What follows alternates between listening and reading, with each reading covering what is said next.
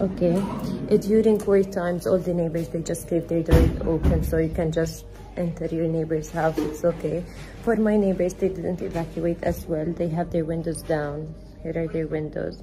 And here is the family. They're gathering all together also in a place far away from the window